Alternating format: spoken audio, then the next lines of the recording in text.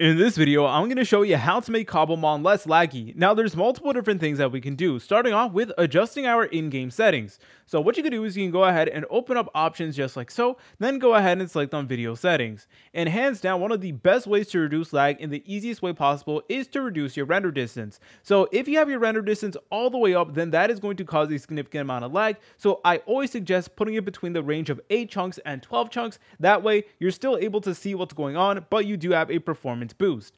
Also, please make sure to turn off VSync over here, and you can also turn things off, like for example, smooth lighting. If and graphics, you could set that to fast right over here, which is definitely another major benefit that you can do. And where it says particles, you can go ahead and turn that off. And where it says clouds, go ahead and turn that off as well. And where it says entity shadows, you want to turn that off as well. So basically, you will have to sacrifice the graphics of the game in order to get better performance, which I know can get slightly annoying, but you know what? Sometimes you got to do what you got to do. So that is definitely something that you can do to make Cobblemon run run a little bit faster on your device. All right, so now let's go ahead and take a look at some of the other things that you can do as well. Now for this video, I'm actually using CurseForge in order to run Cobblemon. And another thing that we could do is allocate more RAM because sometimes there isn't enough RAM allocated to your mod and especially Cobblemon, it's such a big mod. There's a lot of stuff going on. So basically what you want to do, so what you want to do for CurseForge is you want to go over here to where it says settings, then where it says game, go ahead and select on Minecraft scroll down and where it says allocated memory, you want to make sure you set it to however much RAM you have on your device. So me personally, I have 8 gigabytes worth of RAM on my system,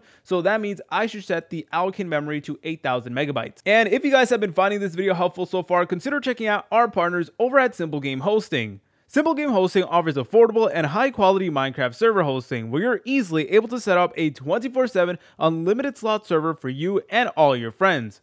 What's great about Simple Game Hosting is that they make everything incredibly beginner friendly, with their dozens of video tutorials and 24-7 live customer support where you can have a Minecraft server expert walk you through the entire process start to finish. You can also add things like plugins, mod packs, etc. all with the click of a single button, and they really do make everything really intuitive to use. And at the moment, they're currently doing a sale where everybody who gets a Minecraft server gets 25% off their very first month of server hosting. So guys, if that sounds interesting, feel free to check out the link in the description down below and in the pinned comment. Anyways, guys, another thing that we could do is we can add a performance enhancing mod to Cobblemon. So first of all, you want to look at what mod loader you did use. So for this video, I did download Cobblemon on Fabric right over here. Now, we need to download a mod loader, and for this video, we're going to be downloading Sodium, which is actually compatible with Fabric, and if you did download Cobblemon for Forge, then you're going to want to download Optifine. So what you want to do is you want to go over here to CurseForge and then you want to press on this button that says add content.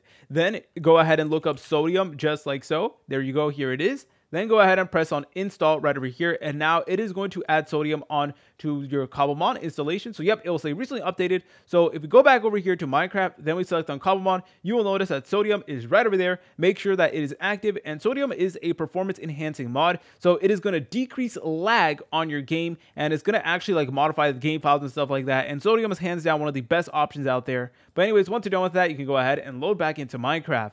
Alright guys, so here we are, and you could also go ahead and select on options and video settings, and as you're able to tell, we're to have this brand new menu right over here, and you can go ahead and adjust more things as well, but the Sodium mod should definitely help you out with game performance. So we are literally getting over 100 FPS consistently thanks to the Sodium mod, and my PC is definitely getting a little bit older, so that is definitely saying something. If you guys found this video helpful, make sure to leave a like and subscribe. I'll see you in the next tutorial.